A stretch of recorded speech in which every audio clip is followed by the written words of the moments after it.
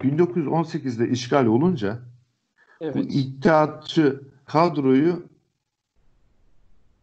Ermenilere soykırım yaptı diye tutukluyorlar. Evet. Ama nereye gönderiyorlar? Malta'ya gönderiyorlar. Malta'da bunlar tatil yapıyor. Bildiğin tatil yapıyorlar Malta adasında. Çünkü Avrupa devletleri mesela İngiltere, Fransa, e, Anadolu'da öldürülen Ermenilerin kendi din kardeşi olduğunu düşünüyor ya. Kendi hükümetlerine bir baskı var. Ha. Mesela İngiliz halkından İngiliz hükümetine karşı bir kamuoyu baskısı var. Benim din kardeşlerim orada öldürülmüş. Bunun hesabını sormayacak mısın? Evet. Veya Fransa'dakiler. Sormayacak. Böyle bir yani biz hep tek taraflı bakıyoruz ya tarihe. Aslında Evet. geniş Evet. Evet. bakmak gerekiyor. Bravo. Bravo. Dolayısıyla bunları götürüyor Malta'da. Bir iki tane işte yalandan idam ediyor alt kademelerden. Götürüyorlar Malta'da tatil yaptırıyorlar. Ve bu Malta'daki iddiaçıların hepsi geliyor. Cumhuriyet kurulduğunda bakan milletvekili bürokrasinin bütün dallarında bunlar söz sahibi oluyor. Şimdi Ahmet Hocam siz Ermeni e, işte Ermeni tehcirine yeni bir bakış getirdiniz. Yani arkasında kim var diyorsunuz bunun? Ermeni tehcirinin arkasında kesinlikle tapınakçı sistem var. Yani e, bizi Birinci Dünya Savaşı'na sokan bu kadar insanımızı kırdıran aynı sistem Evet. var. Aynı insanlar var egemenlik sistemi.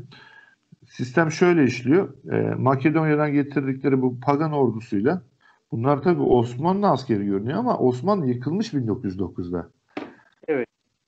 Bakın Adana'daki e, 1909'daki olaylarda Ermeni olay 1915 demiyorum yanlış anlamayın 1909'daki Ha, ha. olaylarda Abdülhamit'i deviriyorlar, trenlere bindiriyorlar askerleri. 15 gün sonra burada bu katliamı yapıyorlar.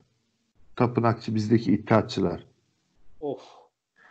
Tabi oradaki bütün ara- Türkleri dağlara sürüyorlar. Dağ köylerine.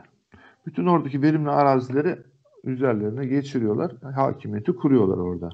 1909'da. 1915'te tabii bir kısım daha oluyor. Tehcir oluyor 1915'te.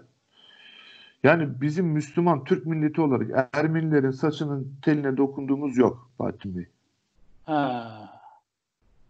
Of. Şimdi Erdoğan neden hep getirin arşivleri açalım, arşivleri açalım, arşivleri açalım demesinin sebebi bu Ha. Ermeniler de bunu biliyor. Dikkat edin batılı devletler bir yere kadar getiriyorlar bu yasaları. Orada Evet. kesiyorlar. Farkında Evet. mısınız? Hani her soykırımı tanınma, tanınma, ceza, meza bir yere kadar geliyor. Hep orada duruyor. Ne ileri Evet. gidiyor ne geri gidiyor. Bunun sebebi eğer tanınmış olsalar yarın öbür gün patladığında bombaları kendi adamlarının yaptığı ortaya çıkacak. Batı'nın. Ya. bu katliamı. Ya. Ya. Erdoğan'ın hep ısrarla dediği arşivlerimizi açalım bakalım dediği konu budur. Gerçek katiller ortaya çıkacak. Ee, şimdi oraya geleceğiz.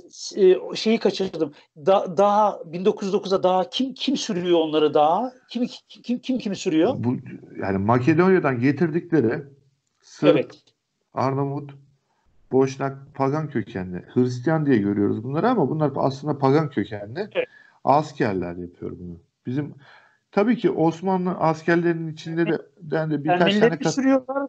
Türkleri mi sürüyorlar daha? Türkleri sürüyorlar. Heh. Türkleri daha sürüyorlar. Heh. Ermenileri katlediyorlar. Daha sonra bu Taşnak Partisi partisiyle Hınçak Partisi vardır Ermenilerin bilirsiniz. Bu bizim Osmanlı Meclisi'nin partisidir bunlar. İlk kuruluşları Osmanlı Meclisi. Yani İttihatçıların kurduğu ikinci Meşrutiyet Meclisi'nin partileridir. Evet. Bu partinin başındaki adamlar da aynı tapınakçı pagan zihniyet. O. Dolayısıyla bizim Erzurum'da, Elazığ'da, Bayburt'ta bizim insanımızı katleden, kesen insanlar da aynı familyadan. Hmm. Dolayısıyla hani böyle masum Ermeni halkından bahsetmiyoruz burada.